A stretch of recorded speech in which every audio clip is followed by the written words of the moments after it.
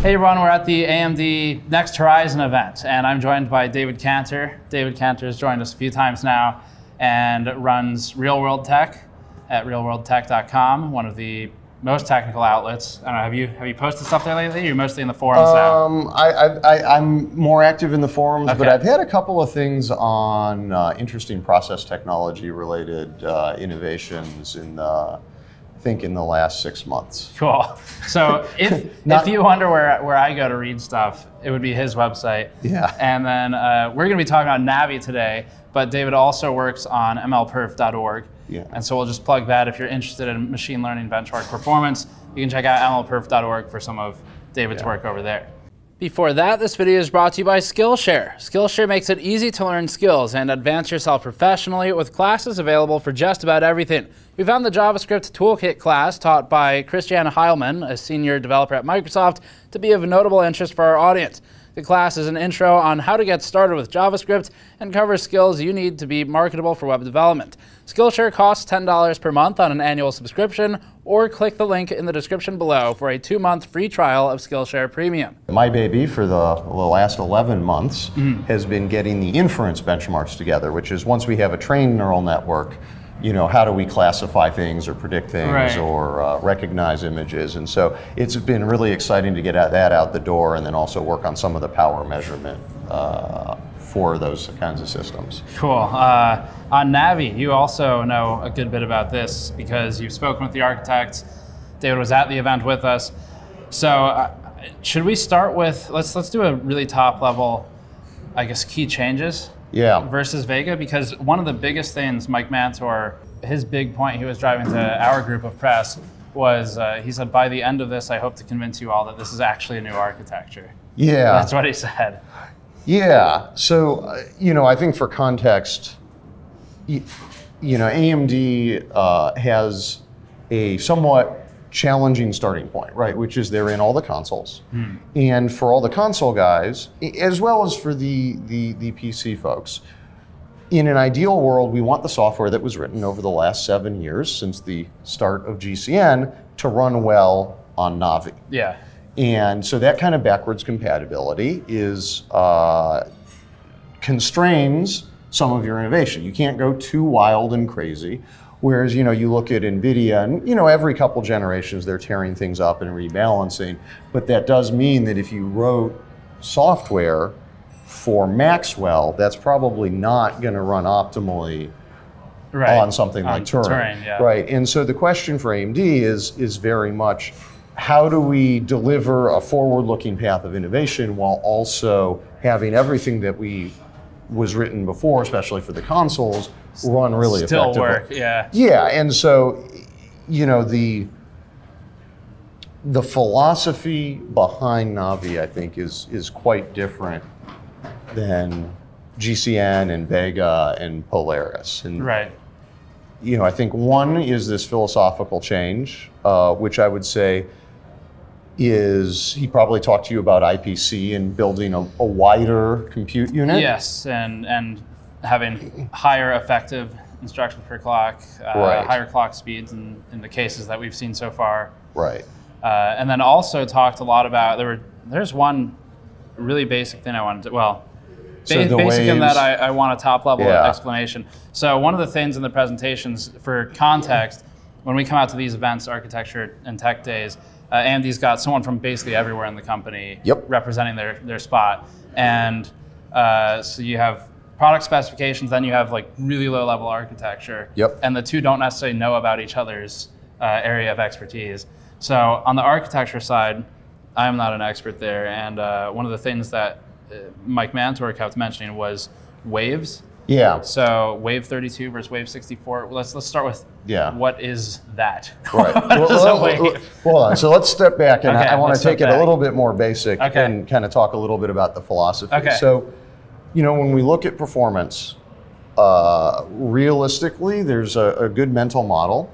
Is you've got everything today is a multiprocessor, so you've got n cores, and then if you want to make the whole solution faster, you can do, do more cores or you can do a faster core. Sure. right? And and from the CPU side, which applies to the GPU side here, the way to get a faster core is either higher clock speed, right, or more instructions per cycle, more work per cycle. Which we've seen with Ryzen discussion as well. Right, exactly.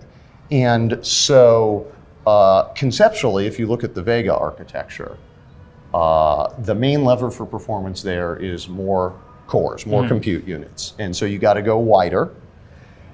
And uh, with Navi and the uh, RDNA architecture, the big shift is to say, actually, what we want to do is we want to go faster mm-hmm. on a per core basis so that we maybe don't need as many cores. And Should I, let me do one quick interruption. When you say the word cores, I mean compute units. okay. You know, everyone. so, so look, NVIDIA, Intel, everyone who does something that computes will have a special name for it.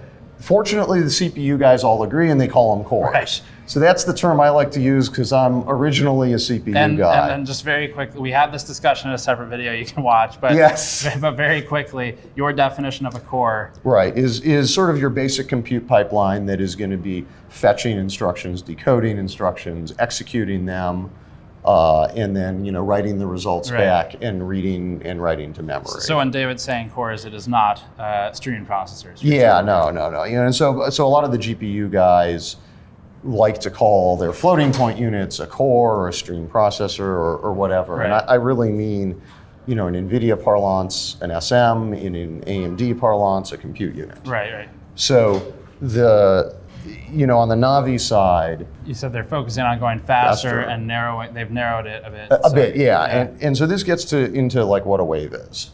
So when you look at the programming model for GPUs, the whole idea is we're going to run one program on every pixel on the screen, hmm. right? And so, but we want to do that with a vector execution unit, right? And so that means that we can do a multiplication on a bunch of pixels at the same time, but they've got to be running the same instruction, right? So, so if we wanted to translate hmm. or rotate, you're going to be doing a matrix multiplication on every single pixel. Okay. So, but you grab all those pixels together. And if uh, you've ever looked at, you know, some of the NVIDIA white papers, they'll call this a warp, Yes. I'm right? And so that, that's yeah. a bunch of data items that you're going to process together. So is, is NVIDIA's Warp to AMD's Wave? They are the Yes, same and, concept. and every GPU will have a very similar construction. Okay. So Intel's integrated graphics also has, uh, you know, something like this. And so the whole idea is this is a bunch of data elements that you all process together in the microarchitecture. Now, okay, so one of the big changes with Navi is in previous generations, the waves were 64 data elements wide. yes. And so that works really well for some things. Um, but the downside, there, there's two downsides. So, one is when you have a branch and some of the waves go off this way and some of the, or sorry, some of the data elements go this way and the others go this way. Well, you have to do both. And so if you have, say, one branch out of 64, then in one clock you do 63 guys and then I the other clock Okay. you do one. So and so that's not great utilization, Yeah. right? So now, uh, so that's one aspect. And then the second is that in the GCN architecture, which includes uh, Vega and Polaris, the way you would execute a wave is over four clocks. So you'd have a 16 wide SIMD, and then you know clock one you do a quarter, clock two you do a quarter, clock three you do a quarter, clock four you're done, and then you can move on to the next instruction. So if you look at a single data element, it only makes forward progress every four clocks Okay. right? So, you know, say data element one, you know, you're going to do first your multiply instruction, and then four clocks later you can do an add or a subtract or whatever. Um, and so if you look at its progress, it's, as I said, once every four clocks. And so the narrower part is that Navi has a 32 wide wave. And then the faster part is that the SIMDs are now 32 wide. Okay. And so you execute a full wave every clock. So if you take that same example I gave you and you look at one particular data element, So now you've It- got it makes forward progress every clock. right. So the other thing that's worth mentioning about the new Wave 32 model with Navi is that it is optional. And uh, as I mentioned, it's, it's probably going to be better for performance, but from a backwards compatibility standpoint, if you have software that was written with Wave 64, A, you can still run it. B, you can still write new software in Wave 64 if that's going to be best for you. And then behind your back, the machine will take these 64 wide waves and then issue them every other clock, essentially. So it'll split it up in a potentially, i- there's two different ways to split it up, but it'll figure out how to split it up. So, um, and, and that kind of goes back to this backwards compatibility uh, constraint that AMD has as a function of doing consoles and, and, and not wanting to disrupt the software ecosystem. And so the nice thing is, since we're talking about executing a program on all these different data items, that program will execute a lot faster. And the, so you get the same flops, but it's sort of the way you're running it through the machine changes. And the benefit of this is if you think about it, so say you have a pixel shader, like you're going to have a bunch of associated state with that. Mm-hmm. You're going to need registers, you're going to need descriptors and other things that occupy space within the machine. And so if we can burn through that pixel shader 4x faster, we can free up those resources Right. and we can use the machine with fewer data items, right? So the question is like, how many data items do you need to get the machine at 100%? And the answer is always going to be less with Navi Okay. than with GCN. And so that's just going to result in better utilization. And some of So you your work, yeah, you won't have as as many uh, hardware fixed function units, or well, just units sitting there doing nothing. I guess spinning, Well, spinning their wheels. not just fixed function units, but also your shaders, right. Right. And you know, I know some of the work you did previously showed that essentially there was some underutilization of the compute resources in Vega. Yes. And so you can think of this as an architectural approach to try and fix that. Right, right. And there were also things with, uh, we saw issues with potentially cache. Yes. And so we were talking about that previously. Uh, cache bandwidth is something you mentioned to me. So I- I'd say that's one of the, the second big changes in, in Navi. And so, you know, I think some of the work you did was great, and you pointed out that actually the biggest bang for the buck on Vega was overclocking the memory, not the computer, Right, right? yeah, yeah. Right. And so, you know, you look at that, and well, the data says, okay, this machine doesn't have enough bandwidth. So at the end of the day, bandwidth is always going to come from either DRAM or cache. And so um, the approach for Navi was to introduce another level of cache. And so if you look at GCN, including Vega, you have a cache in each compute unit that's Yeah. pretty small. You have a shared L2 cache between everything that's not super big but not super small. I mean, from a CPU standpoint, it's small. Right, CPUs right, right. are like, you know, a quarter of the die is cache. Yeah. Right, you know, 10, 20 megabytes. And don't forget about game cache. Uh, right. So let's let's not talk about game cache. Oh man. Um, you know, AMD it builds fine products. Sometimes the marketing uh, names leave a little bit to be desired. Right. That is a very kind way to say it. Yeah. So on GCN, you had an L1 cache that was pretty small per core, per compute unit, and then you had this shared L2 cache, and then you had memory. Right. And so the big change in Navi is now you have an L1 cache that's actually shared between two compute units. So there's actually a way to communicate there. Uh, and then there's uh, what they call the graphics L1 cache, which is in each shader array. Okay. So So they're different, I guess. Yeah, so you have so so the you have this sort of per core cache, Mm-hmm. and then the array. There's four arrays in Navi 10. Are they physically different uh, units? Yes. Okay. Yeah. So, it's not just like uh, logical partition. Yeah, it's not it's not Okay. a logical, but it's actually a physically separate array, and it's used for slightly different things. Okay. So the the graphics L1 cache backs up the per core L0 cache, and then it's also used by the render backends for uh, for for blending and depth and so forth. Okay. And so then in addition to that, you have the globally shared L2, and then you have DRAM like regular. So the Right. nice thing is that the, this new L1 will absorb a lot of the bandwidth that previously would have spilled over to the L2. Okay, I see. Which then reduces the demands on memory. So the thing that's interesting is if you do out the math, um, Navi 10 has actually slightly more bandwidth than a Vega 64, but it only has 40 compute units instead of 64. So when you look at the bandwidth per core, it's actually gone up quite significantly. Okay. And so you're going to stall in your shaders less. So, from a testing perspective, Mm-hmm. uh, what's what type of workload do you, you know, in a one to one, which we're not going to have, but in a one to one, where do you start to see that difference emerge? In Ye- theory, I mean, I think just realistically, you're going to see better scaling with respect to frequency. okay, Right, and so it should be less uh, bottlenecked on memory, right, we hope. And then it also has a benefit in terms of power, right? If you are getting data from SRAM on chip, that is always cheaper than getting it from DRAM off The other chip. interesting too on, on power, um, HBM too, as much as AMD was stuck with it, uh, it was also a power play. I mean, it was Yeah, lower totally. power than GDDR5. Yep. So I'm not sure what the, the numbers look like actually for G6 off the top of my head for power Uh, consumption versus HBM. I mean, I'm sure it's higher, right? Yeah. So, you know, I think this is one of those things where it's a trade-off of die area, Cost. cost, Yeah. and power.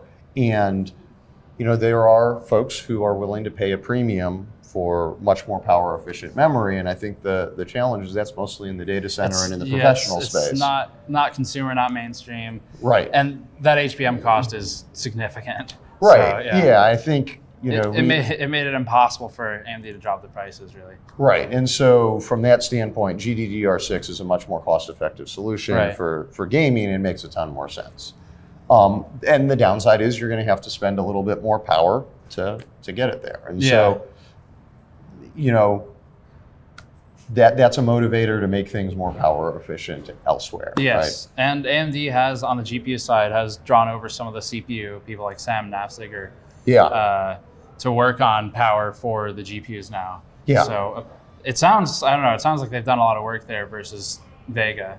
Yeah, well, I think just broadly speaking, I'd say that there's that power management in CPUs has historically been much more aggressive, much more careful than on the GPU Right. side. Just just kind of up for for PC class GPUs. Right. right. And so, you know, getting to uh, apply some of those techniques to the GPU and getting also new techniques, right? Because, you know, in CPU, you always want to go fast, but, you know, you look at something like FreeSync or um, uh, Power Chill, maybe it was. Chill. Radeon Yeah, Chill. yeah, yeah, Yeah. But you know, that's something you can't really do in a CPU, but it's you know a very clever technique where you know for those who aren't familiar with it, it's okay. You know, we're in a scene where things aren't moving much, so let's just drop the frame rate, Yeah. right? And it's like, well, that's a really cool trick that you can use because you understand the application. and You know, oh, this actually isn't going to have an impact, and we can cut down our Right. power significantly. And as a side effect, sometimes improve the uh, response, the latency too. Right, exactly. And so there's because graphics is a little bit more of uh, there's more application awareness. There's Mm. things that can be done there. So, it, y- anyways, the I think there's been a lot of effort invested in, in AMD, at, at Nvidia, at Intel, at everyone in getting graphics to be much more power efficient. And so, you know, there's there's all sorts of tricks that I expect AMD will be bringing over to the GPU Right. side, and then you know, unique GPU only tricks that'll get better. So, are there any closing thoughts you have on Navi in general? I mean, power consumption is obviously one of AMD's biggest uh, punching bags, I guess, over the last couple of generations. But it's just power consumption discussion we'll have to look into more with testing. Yeah, But TBP was 225 on the 5700 XT. yeah. I, how do you feel about those numbers from a from a glance? I mean, so at the end of the day, you know, I think with a lot of gamers, power is probably more of a second order thing. I mean, I, yeah, definitely. personally, for me, you know, I actually care much more about the noise levels Yes. than the power draw. um, except maybe on a summer day when I don't want the place heating up. Yeah. But, uh, yeah, I mean, the other thing is you, you with a new architecture, you you end up changing so many things that you may not discover all of the pain points until you have silicon and are running real workloads. Right. Um, and on the basis of that, that opens up new avenues for tuning for power, right? And so, uh, you know, it's sort of uh, new architecture's first one in seven years, and uh, so just like with GCN, right, there was all these incremental Yeah, steps yeah. with Polaris and Vega, and I'm sure there's going to be sort of a similar trajectory for Navi, and then so we'll have to see what those look like, right? Um, but then I thought the other interesting thing is that you know Samsung had Yes. announced that they're going to license this. That was very interesting. Yeah. Uh, and it's it's a good move for. I mean, it should support AMD where they need it, which is get get some more guaranteed revenue in on the graphics department. Yeah, and so you know for those who aren't familiar with it, it's Samsung's going to be licensing the RDNA architecture for mobile. Yeah. The And- Exynos uh, inclusion, I guess. Yeah, probably for high-end uh, smartphones and tablets. And you know, the truth of the matter is, if you that, that that's going to put AMD's engineers under a lot of pressure to to get the power down. And so it'll be interesting to see, you know, what they develop there and how that might apply to the rest of the line. But you know, I, I think there's uh, there's always opportunities to cut power, and it's usually a question of, you know, time and and priorities And money, yeah. yeah, and so you know the nice thing is you know, and, and let's let's be really honest. If you're making things for consoles and you're making things for for primarily desktop PCs, power is not necessarily the most critical thing. Right, right. And so I think, you know, drawing on my either cynicism or economics background, depending on your perspective, right? You know, you got to follow the money, right? And you know, if if AMD is now getting money to do mobile stuff, then then that says that someone is going to be putting power. There's dollars associated with power, Yes. so we should expect it to improve. Yes, and, and very good point on that. So, if you want to see more of David's work, we have other videos. Yeah, with David. We, definitely. we did the one on what is a core. I think Yes. we talked about is a CUDA core really a core. Yeah. Uh, TLDR, no, but you should you should watch the video for more depth. And then Yeah. also realworldtech.com. You've got a forum there that uh, David's active in, Yep, and uh, mlperf.org for people interested in machine learning performance. that's right. So I think that'll wrap it for this one. Thank you for watching, David. Thank you for Yeah, joining me. good to see you again. We'll see you all next time. Yep.